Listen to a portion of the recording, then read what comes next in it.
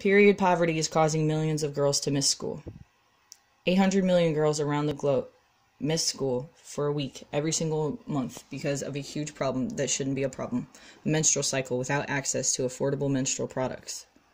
According to a recent study, in America, 1 in 5 teens struggle to afford period products or are unable to access them at all, and 1 in 4 teens have missed class due to menstrual hygiene product affordability. These girls will sometimes resource unhygienic items to overcome capitalism's grip on their menstrual health, using things like rags, paper towels, toilet paper, or cardboard. This is all unsanitary. This heightens the risk of urogenital infections, such as urinary tract infections and bacterial vaginosis. The effects of using less than sanitary items for menstruation can result in skin irritation, vaginal itching, and discharge.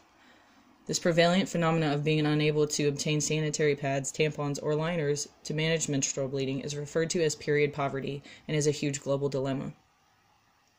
Period poverty is taking an emotional toll on all girls across the globe and is linked to higher levels of poor mental health, such as anxiety, depression, and distress.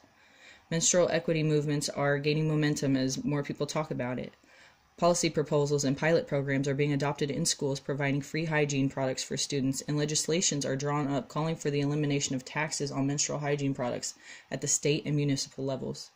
For example, Ohio repealed sales tax on menstrual products with absolute unanimous support.